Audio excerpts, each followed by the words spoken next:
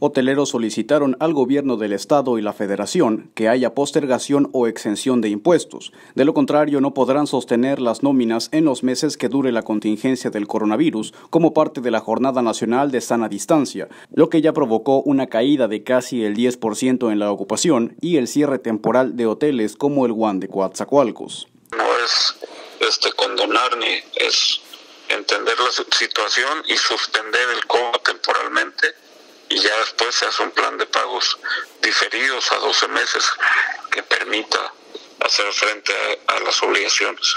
Es preciso señalar que el posicionamiento de la Asociación Mexicana de Secretarios de Desarrollo Económico solicita la ampliación de acciones económicas para hacer frente a los efectos del también llamado COVID-19, ya que se resienten los efectos financieros en la comunidad internacional y en México está muy difícil pagar la nómina para pensar en que además hay que pagar la luz, impuestos, agua y demás gastos. Entonces, es imposible. ¿Qué pasaría si hubiera que pagar todo eso?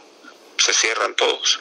Claro. Nadie puede cubrirlo. Porque aquí, como mencionábamos, ya hay un hotel cerrado, ya hay otro que está en el proceso para cerrar el sábado. Tenemos este conocimiento, entonces pues será una cadena sin duda. Entonces, si el gobierno hubiera anunciado esto con tiempo ya, como lo han hecho por todo el mundo, pues quizá ellos ya no hubieran cerrado.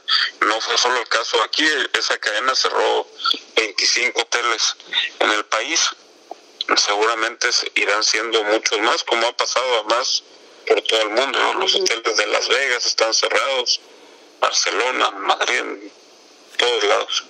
En un oficio girado por Grupo Posadas, que obra en poder de imagen del Golfo, se constató el cierre temporal de 25 hoteles, uno de ellos en Coatzacoalcos y otro más en Jalapa, por lo que la AMSDE solicitó la exención de impuestos como el ISR, Infonavit y EPS, además de suspender el pago de cuotas obrero-patronales, así como aplicar medidas de crédito flexible para MIPIMES en la FINSA, Bancomex y la banca privada, para evitar más cierres y el colapso del sector ante la falta de previsión de los tres niveles de gobierno.